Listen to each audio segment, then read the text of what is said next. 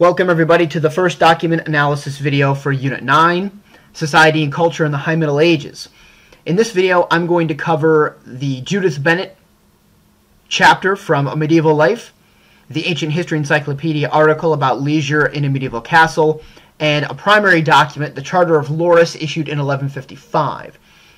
In Unit 9 there were a couple of major objectives. We looked at the life of peasantry and aristocrats, which we're going to delve into in more detail with Judith Bennett and the Ancient History Encyclopedia. We looked at the changing of society due to the revival of trade and the rise of cities and towns, which I'm going to start with the Charter of Lorris in this video, and in the next video I'll cover the documentary Filthy Cities Medieval London. And we also looked at um, the rise of medieval universities and the things going on there which we'll cover in the next video with David Tulloch's article, The Rise of Medieval Universities, and looking at an example of scholastic thinking with a dispute about logical proofs of God's existence from two monks named Anselm and Gaunilo. But for today's video, we're going to focus on the life of the medieval peasantry. We're going to focus on the life of medieval, aristocra- of medieval aristocrats and get into a little bit on what's going on in cities and towns. So one of the major things that the main presentation talked about was the life of the peasantry during the High Middle Ages. And I gave you, once again, you've seen this book before. There was a section of this to read in Unit 8. It's called A Medieval Life, Cecilia Pennefather of Brigstock, which is in England, roughly 1295 to 1344. Now, although the time frame didn't necessarily fit, as I commented in the Unit 8 document analysis videos, um, some of the content was still good for that period of time. Now we're moving in to the period of time, the High Middle Ages, that is directly covered by this text. And I gave you a chapter that's talking about what life was like for Cecilia Pennefather as she was growing up in the middle of England, and what her world was like, and what her responsibilities and her family's responsibilities were as medieval peasants during this period. And the first thing I want to get to is I want to get to what the medieval household was like. This is something I talked about, and I showed you some pictures of a recreated medieval village in England to talk about like village life and the church and the village, the peasant household. There's some more description of that here in this. Get out of here. okay, so Judith Bennett is going to talk about Like all the houses in Brigstock, it was dark. Some houses had no windows, but the Pennefathers, as well-off tenants, might have cut a window or two in their walls. If so, the windows had no glass, and only shutters to keep out the wind and cold. Like all the houses in Brigstock, the Pennefather house was filled with smoke. A fire was essential for warmth and cooking, but as chimneys were unknown among peasants, smoke was vented through a hole in the roof. Perhaps the Pennefathers, like others who could afford it, built an especially high roof to draw up the smoke to the hole in its apex. Finally, like all the houses in Brigstock, the house in which Cecilia grew up was small. Peasant houses were usually twice as long as their width, and a prosperous family like the Pennefathers probably lived in a house about 30 feet by 15 feet. Dark, smoky, and cramped, peasant houses were not welcoming places. It was no wonder people usually preferred, weather permitting, to sit outside on benches set against the walls of their houses. So first of all, what we're learning about peasant households is that they're quite small. 30 feet by 15 feet is not a big house. Unless you're a well-off tenant, you're normally going to have a low roof, which will probably have a hole cut in the center of it that is going to be used for allowing smoke to get out through the ceiling, through the roof. If you didn't do that, then the smoke is going to rise, it's going to fill the entire house until it drifts out the windows, if there are any, or through the door if you leave it open. So most of these houses are going to be dark, especially during the middle of the day when the sun's kind of shining right above them and there's no light coming in. They're not going to be very easy to see at either dawn or dusk. They're going to be filled with a lot of smoke because you're going to have a fire ro- uh, roaring in there most of the time. Whenever you have to cook, you need a fire. Whenever it's cold in the fall or English winters or early springs, you're going to need a fire. So they're not real comfortable places to be in, which is why, as Judith Bennett comments, you're going to want to spend a lot of time outside rather than staying in your home. Most medieval peasants used rubble only for a low foundation a foot or two off the ground. Then they built the walls by placing posts every few feet and filling in the gaps with wattle and daub, that is, sticks and twigs woven together within the gaps, or with the gaps, excuse me, filled by clay, straw, moss, and other such materials. I like the parenthetical insert here. Sometimes these walls were so flimsy that robbers literally broke into a house by avoiding the locked door and forcing entry through the walls. So, even if a peasant home had some stone, it was normally used just as a foundation that only rose about a foot off the ground, and the rest of the wall was made by taking posts every few feet and inserting them or building the, the stone foundation around them and using that to hold up walls and maybe curving out for the roof. And then for another few feet from the stone up, you would just take smaller sticks and twigs and kind of weave them together. And then fill in the gaps with like clay and mud and straw to kind of block out the in, block out air and to insulate your house as much as possible. Set at a low point in the walls of the Brigstock house were crucks, long curved timbers that rose up to brace the wall and hold the roof. The roof was straw thatch, this was cheap and easy for medieval peasants and prone to disastrous fire. So you've got a fire in the middle of your house that's lifting up smoke and embers into a roof with a hole in it, and that roof is made out of dry straw. That sounds like an absolute recipe for disaster. And at times, I'm sure there were disastrous outcomes for this. So essentially, these houses were made out of whatever natural resources were available in the area. Some stone rubble that might be around, um, using sticks and tree trunks, using clay and mud and straw to kind of make a structure that could at least provide you with a little bit of shelter and a spot for a fireplace so that you could cook and keep warm. Certainly not lavish living by any stretch of the imagination. And she goes on to talk about the peasant diet, which is also something I mentioned in the PowerPoint.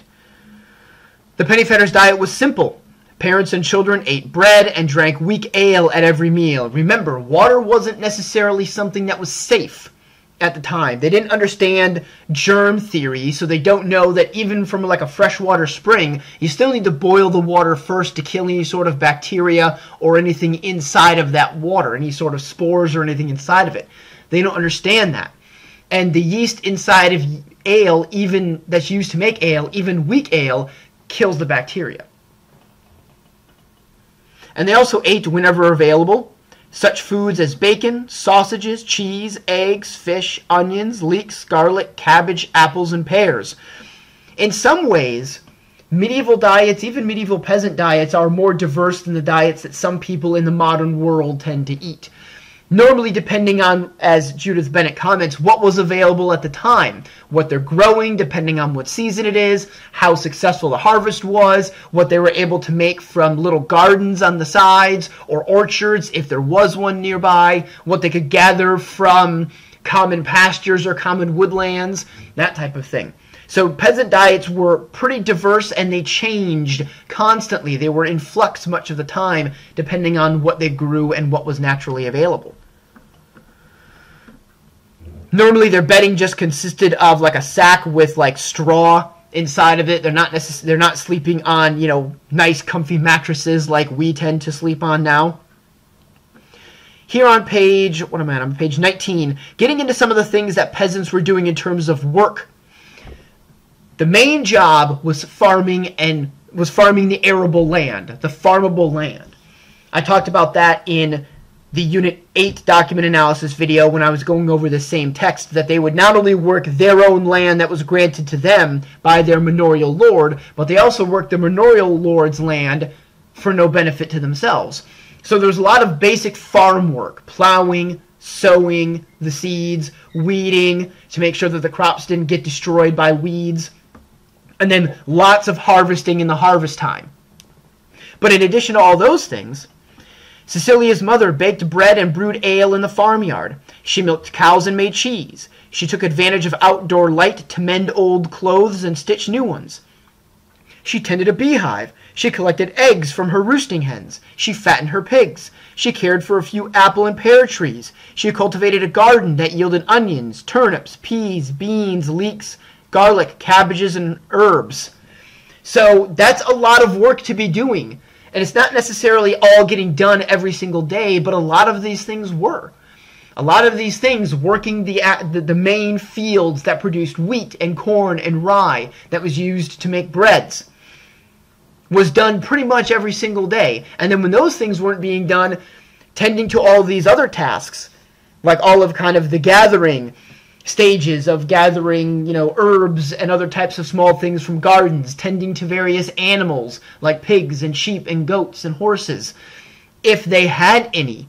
Many peasants didn't. Some maybe had a couple of animals. Other villages would have lots of animals that needed tending by the various people living in them, by the peasants living in them.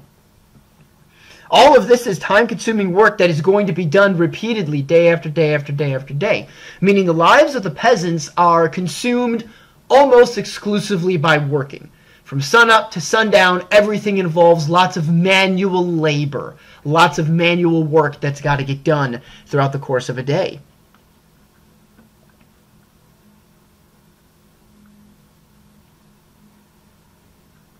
Continuing on to look at those, that arable field and the arable fields around. The author of this text, Judith Bennett, gets into the idea that I mentioned in the Unit 9 presentation about the three field system that develops in much of Europe, especially Northern Europe in the High Middle Ages, where one field is planted with things like wheat or rye. Another field is planted with t- various types of beans. And then the third field is left fallow so the soil can recuperate. And then the fields are rotated, where the next planting season, the fallow field now has beans and legumes planted in it, whereas the previous field that had the beans now has the wheat and the rye. That way you don't exhaust the soil quickly over the course of time. You can make it last for longer. Bennett talks about how much of the arable or farmable land was held in common by the people of the villages of Stanion and Brigstock. And they worked together as a team of hundreds of peasants to manage all of these farmable strips of land, and they broke them into strips. It's not like Cecilia Pennefather's family controlled like 10 acres all in one big square block that they used the arable, farmable land was divided among a number of different peasants, and each got a long, thin strip of it. And they would distribute the family holdings across numerous larger fields. That way, it minimized risk. Because if one field of like 10 acres was having problems, well, then your family could still rely on the strips that you were farming in a couple of other plots outside on the outskirts of the village. You weren't completely ruined by having one entire plot destroyed. So they divided them into this arrangement is sometimes called strip farming because each field was divided into strips tended by different families. Scattering a family's lands held several advantages. It spread risk, as I just mentioned, for if crops in one field had a bad year, crops in another might do fine. It facilitated the sharing of plows and draft animals, for several households could pool their resources to plow a field containing their strips.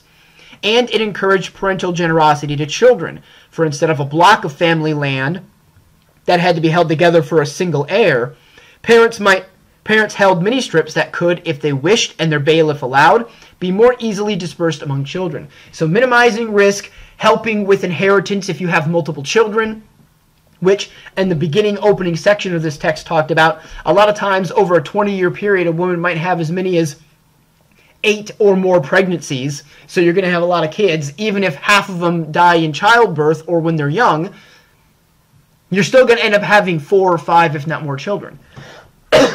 And it fostered if not forced at times cooperation with your neighbors.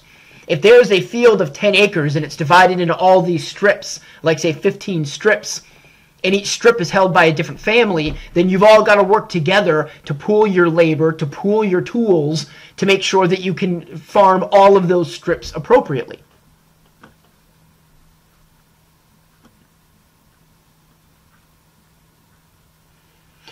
Bennett also mentions how the three field system wasn't necessarily used everywhere in places like Mediterranean soils where it was too hot and too dry for much of the year. Two field division was fine, but in places like in northern France, northern Germany, and in England, the three field system was what was needed in order for effective management of all of the territory. Land that wasn't used for farming was used for pastures or used for meadows, either as hayfields for, or for further grazing of animals. These lands were also held in common and used and managed among all the people.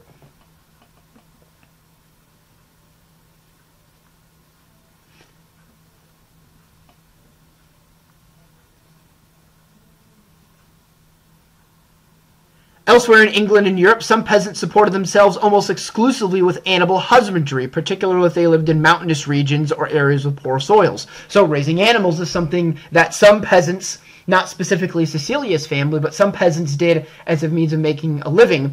And it talked about how in this paragraph here that these were common lands, these pastures and meadows. So everyone had to agree how many animals each family was allowed to graze in the pastures and for how many days a week and for how long. So that way one family didn't one family's animals didn't take up all of the resources and leave other families with nothing. So there's a lot of cooperation going on among these peasant families all living close together in these as Bennett calls them nucleated villages. I mean, kind of isolated little communities with all their farmland and resources surrounding them. Horses and oxen pulled wagons and carried burdens. Sheep produced wool that could be marketed to local merchants. Cows and goats gave milk that could be turned into cheese. People ra- uh, rarely drank milk. Pigs were raised especially for their meat. These animals supported peasant families directly with their wool, milk, and meat, and indirectly through their contributions to arable husbandry. Their waste fertilized the fields, and their pulling power enabled peasants to plow fields. So, in addition to the human labor that was needed to manage all of the land for everyone's survival, animals and managing animals were also useful and needed for their ability to help the growing seasons, to help farm the land, and for the other resources they could provide, whether it's through products like milk being produced that can make cheese, or whether it's pigs that can be slaughtered that can be then used for food, or whatever the case is.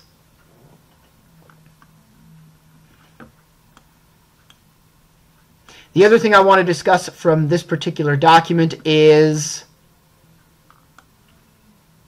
Cecilia, uh, Cecilia world. I like the diagram that Bennett has included. Here's this is essentially the relationship between all these different little communities. There's Brigstock and there's Stanion, where Cecilia Pennefather and her family lived. Then there's one, two, three, four, five, six, seven, eight, eight other communities that are all within 10 miles of where Brigstock is. And it talks about how Cecilia Pennefather's mom could get to the market in Corby. She could walk two miles, sell some eggs, sell some cheese, and then walk two miles back and be home within the course of a day.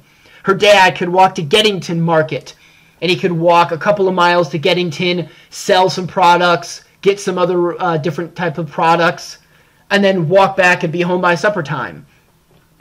So even though many of these peasants aren't going to have horses that they're going to ride for riding purposes. They have horses mostly for pulling plows, not necessarily for riding like aristocrats and nobles would. They still have the ability to leave their own individual villages and hit to other villages where they can talk with people, as Bennett says. They can exchange products. They can buy products and trade and barter for products that they're not growing domestically in their village. But it's important to keep in mind, though, that this is one of the huge differences that we're going to see between medieval peasants and medieval aristocrats and between medieval people and people today. And that's their world, the world of peasants in the medieval era was actually quite small and quite restricted. If anything, according to Bennett, was outside of like a 15 mile radius, you're not getting there. She calls a trip of 60 miles to get to the town of Lincoln, a pilgrimage. Normally, you think of pilgrimages as these long journeys where you'd go to like Jerusalem, like thousands of miles away. Today, it's relatively easy for us to travel 60 miles. I mean, you can hop in a car and in the space of like an hour, you can be 60 miles. In the Middle Ages, if you were a peasant, 60 miles is a massive trip that would take numerous days, if not a week, for you to traverse, which meant overnight stops at other places or camping out under the stars in fields, which might not be the safest thing to do. So their world, their universe essentially, was actually quite small and consisted basically of these 8 to 10 small villages that existed within walking distance. And if you couldn't walk there and back in the space of a day, then it kind of doesn't exist to you. People knew of these other cities like London and other major cities. They knew Westminster. They knew of those places because that's where kings and queens and archbishops lived. But they rarely, if ever, went there.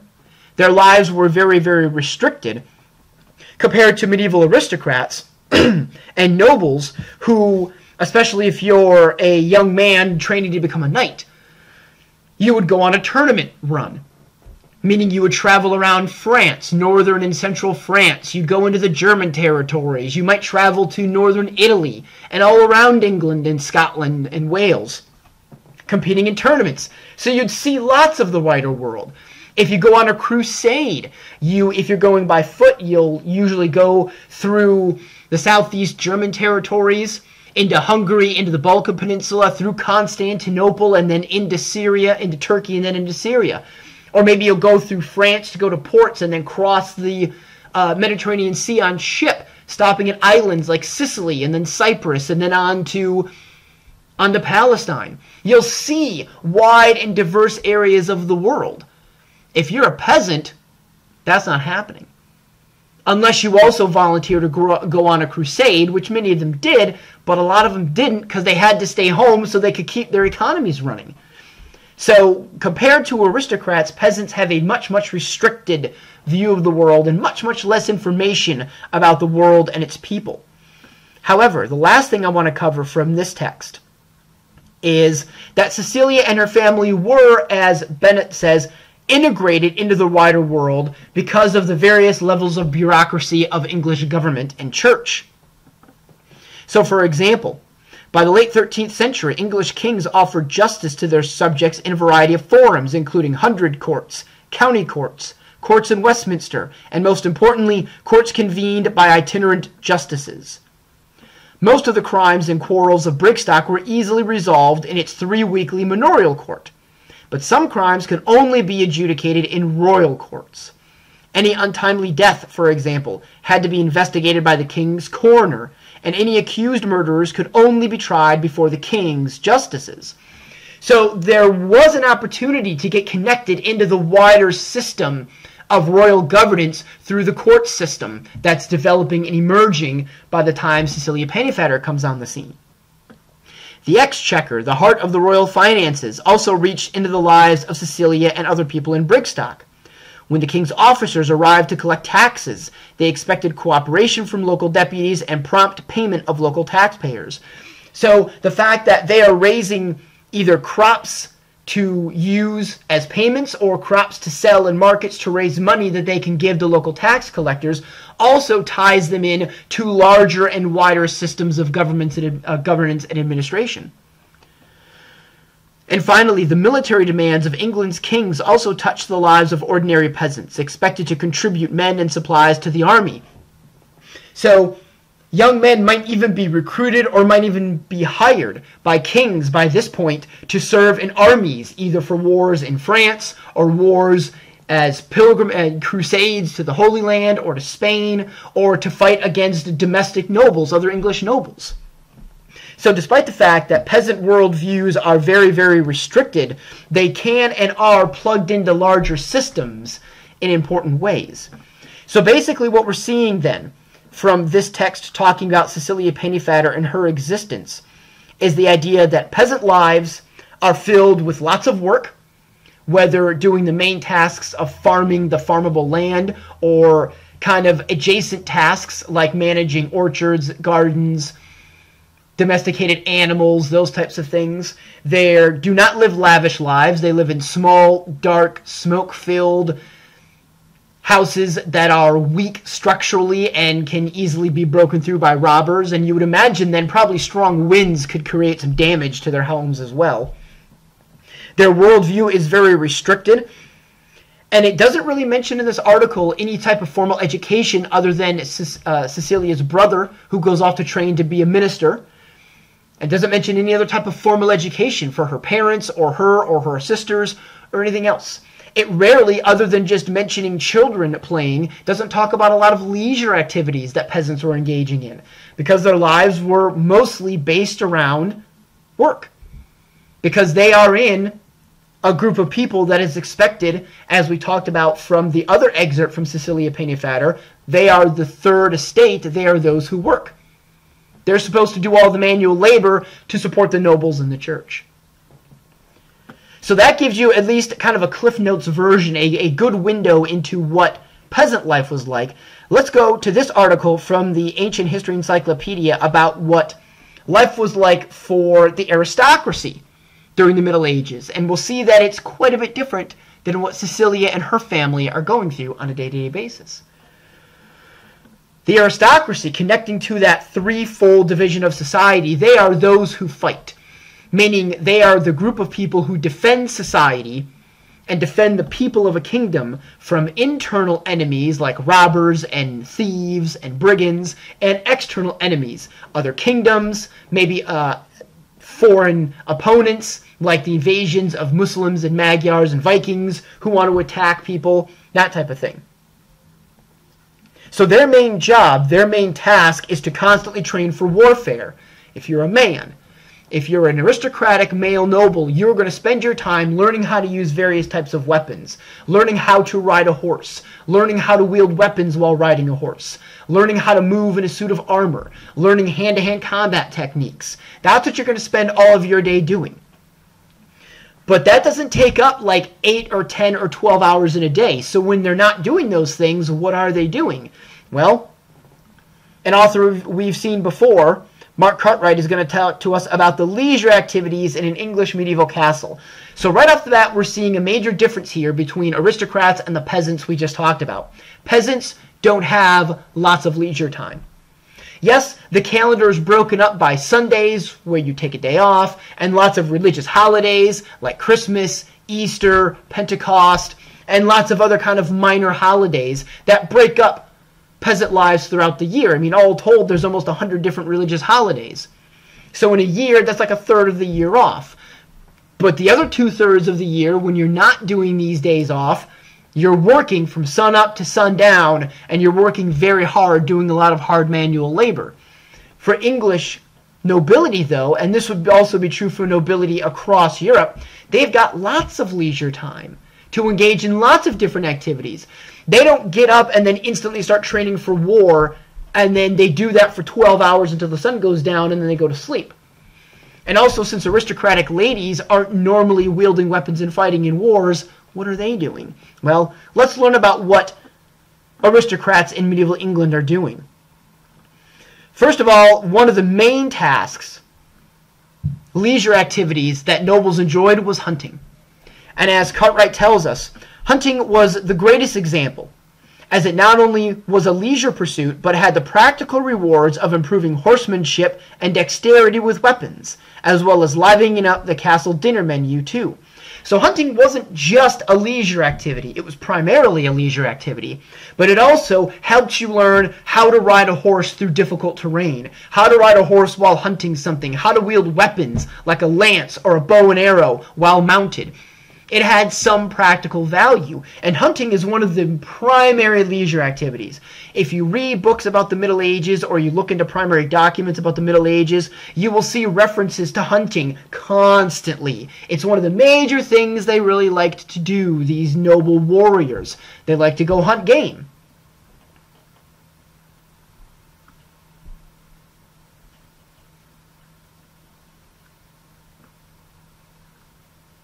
Interestingly enough, it says here, forests were a hugely valuable resource in medieval times, and they had their own officers and inspectors to make sure they were not damaged by local farmers. Infringements such as grazing livestock or felling timber on a castle's lands without permission led to prosecution in courts dedicated to forestry matters. Anyone who was caught poaching met with severe punishment such as fines, imprisonment, or even blinding. So these large woodlots are being hemmed off from the common folk. These are noble preserves only. Only aristocrats can go hunt there. Only aristocrats have the resources to buy a license from the uh, from the noble who controls the land to go hunt in these woods. It was mentioned in the previous document that I gave you that sometimes peasants did creep into to noble woods and shoot some deer, shoot some rabbits to supplement diets, but they had to be extremely careful because there were, as Cartwright is telling us, severe punishments for violating the rules that no, that normal, common, everyday peasants could not hunt or take things from the woodlots. They were the exclusive preserve of the nobles. That indicates a profound difference, again, between those that have and those that have not. Another uh, activity that both medieval men and women got into was falconry, hunting with birds and using falcons and falconry as a means of showing off your wealth and power, because falconry was not a cheap thing to get involved in at the time. Without firearms, a falcon was the only way to catch birds which flew beyond the range of an archer. Although for the medieval nobility, the whole sport had a mystique and mythology about it beyond the expedience of bagging a few fowl for the table.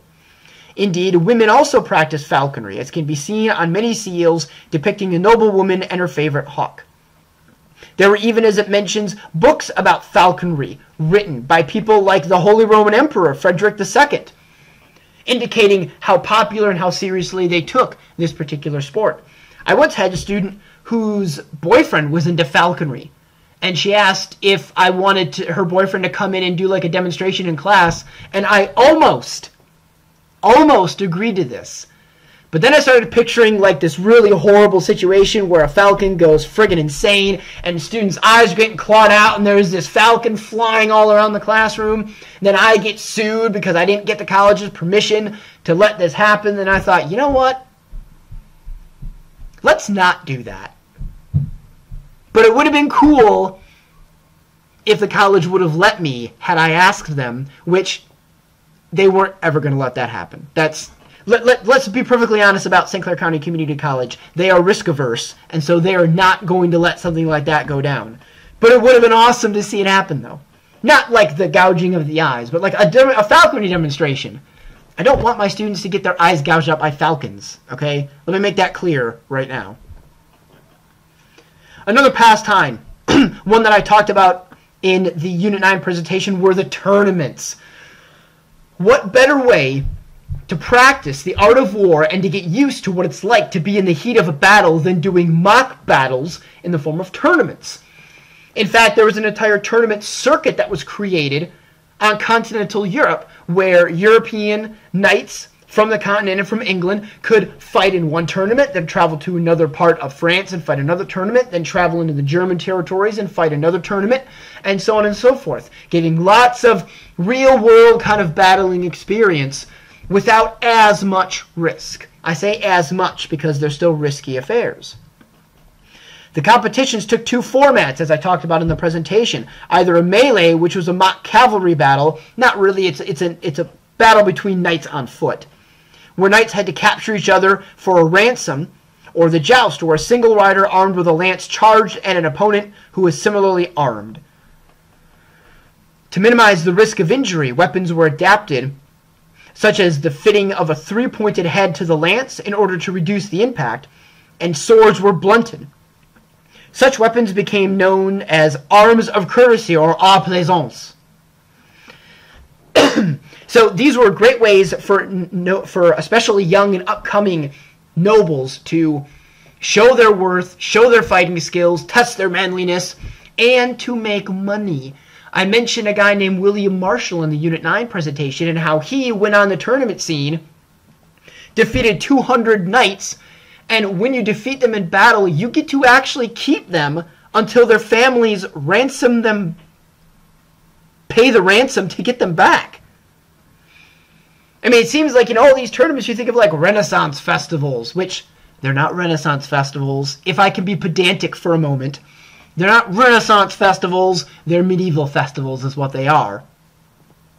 You think, oh, you know, they're like these honorable chivalric knights. No, if you like knock someone down in a melee and they yield to you, you pick them up, you put them in the corner, and say, "You're gonna stay with me until your family pays me a boatload of money to get you back." I mean, these are like Christian knights doing this to other Christian knights. Part of the reason why the Catholic Church was not too keen on tournaments. But these things could also be quite dangerous. There is a French king who was participating in a tournament, and he and the opponent in the joust, their lances both shattered on each other's shields, and a splinter of wood, a big splinter of wood, flew through the eye slit in the king's visor, hit him in the eye, went through his eye into his brain, and killed him. So these jousts are serious things. Despite the fact they're using blunted weapons, these guys are fully armored, charging at each other on, you know, horses that weigh hundreds of pounds. The knights themselves weigh 100 or 150, 200 pounds, and they're wearing like 80 pounds of armor, and they're charging at each other and hitting each other with long lances. I mean, there's no way that's going to be safe, even in the form of a tournament. It wasn't all just excitement with tournaments and falconry and hunting. Nobles were also usually more educated than peasants were, although not always, but many of them were at least taught how to be literate and numerate, and many of them would get involved in various forms of literature, like I mentioned in the Unit 9 presentation, like troubadour poetry, poems written uh, as love poems by knights for some sort of noble lady who they're dedicating their their pilgrimage to, or they're dedicating their life to so they can live to be a better noble and all that stuff. but it wasn't just those types of books that nobles enjoyed. Books, really sheaves of illuminated manuscripts, were available on all manner of subjects besides poetry. There were handbooks for self improvement, such as Good Etiquette at Table and Chivalry in General. None more famous than the 1265 Book of the Order of Chivalry, there were treatises on quintessential aristocratic pursuits, such as hunting and falconry, as mentioned above. Then there were the stories which had survived from antiquity, such as the Trojan War or Adventures of Alexander the Great, where characters and events were given a distinctly knightly, a distinctly knightly chivalric slant, appropriate to the medieval mind. Stories such as The Romance of Troy or The Tale of St. George's Tussle with a Dragon was popularized by the 1260 The Golden Legend by Jacobus de Varenne. So lots of tales and lots of types of stories that were that were kind of floating around as books became more commonly seen across Europe. Courtly romances, troubadour poetry, heroic epics. All these things are stories that literate knights and ladies could enjoy as part of their leisure activities. Lots of different types of games. They played dice, they played backgammon, they played chess. Both men and women did this. Interestingly, gambling does not seem to have suffered from any negative reputation, and even clergymen are recorded as indulging in it. Chess, introduced to Europe from India via Arabia around 1000 CE, was known as the royal game because of its huge popularity. So, gambling doesn't seem to be something that the nobles thought was necessarily a bad thing, probably because they could just extract more resources and wealth from their overburdened peasantry if they lost some money, so they didn't really care all that much. Uh, th- these two sections, I laugh when I read these two sections describing these games. Parlor games included hot cockles, where one person must kneel while blindfolded and guess the identity of the person striking them. Okay. okay. All right. I I'm just trying to picture how you explain to someone this game. You're like, "Okay, okay, dude. This is this is what we're going to do. We're going to play a game. This is awesome. You're going to put a blindfold on. Okay, okay." Says the other person. All right, I'm going to get blindfolded. Okay. Then you're, you're, you're going to get on your knees. Okay. Okay and then we're gonna hit you, and you gotta guess who's hitting you. And they're like, wait, what? So I just have to sit there and get beaten and guess who's attacking me? Yeah, yeah, that's the game. Cool, right?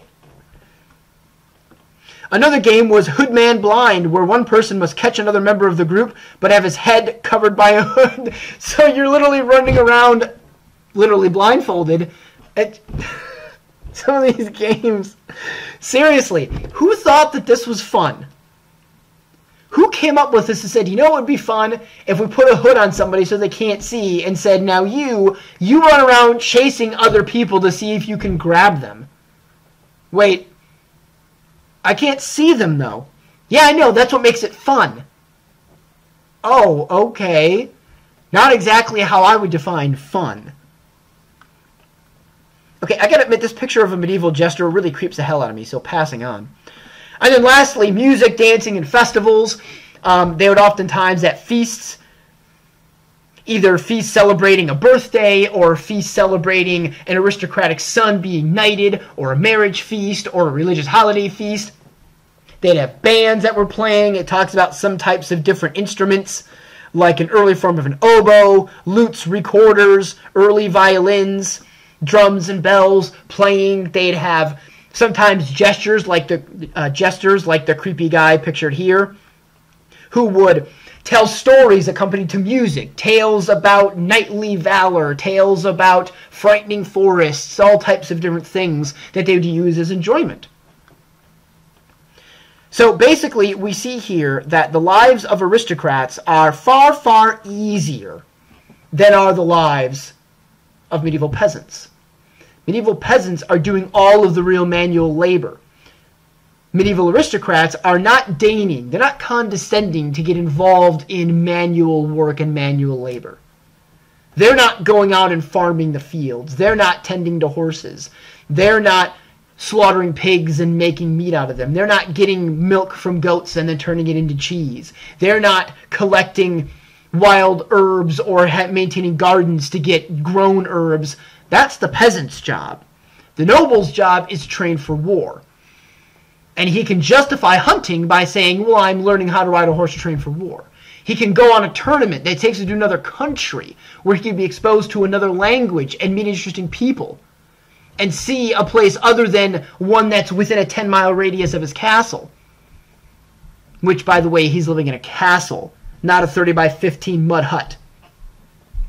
And say, well, I'm training for war and then he can train for a couple of hours a day and then spend the rest of his time doing falconry or playing chess or reading in a way that medieval peasants have no time and no leisure activity to do.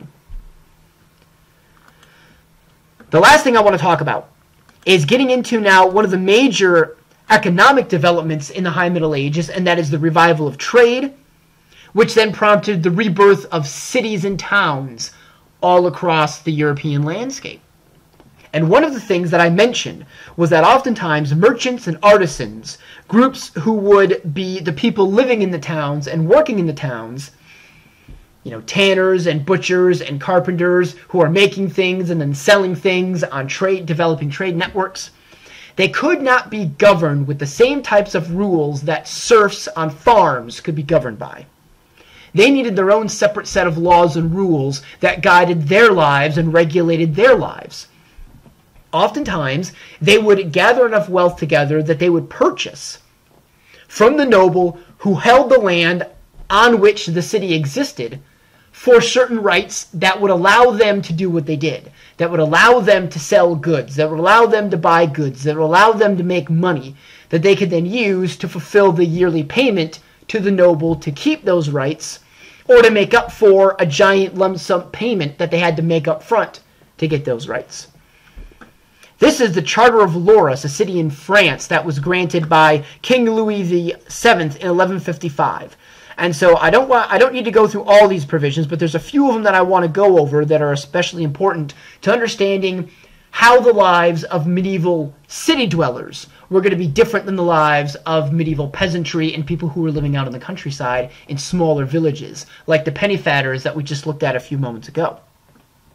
So, number one says, Everyone who has a house in the parish of Lorris shall pay as cens, a tax, sixpence only for his house, and for each acre of land that he possesses, possesses in the parish.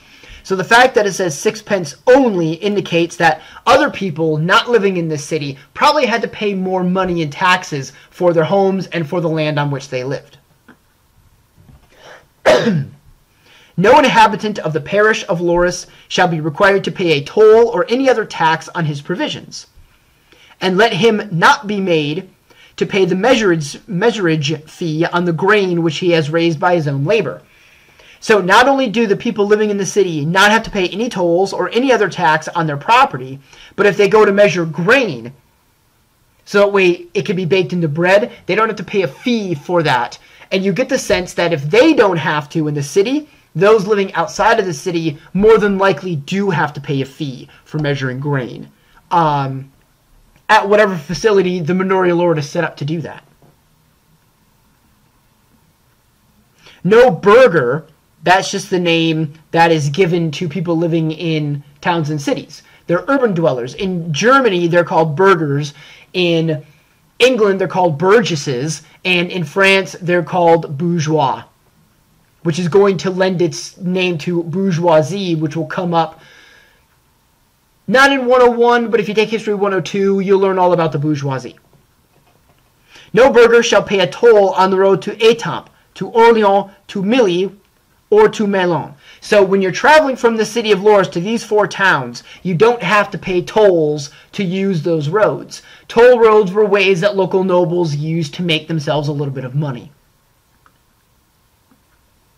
No one who has property in the parish of Lorris shall forfeit it for any offense whatsoever, unless the offense shall have been committed against us, meaning the king, or any of our hotes. I don't know exactly what that term is referring to. I'm guessing it's any of the high ranking personnel who are working for or on behalf of the king.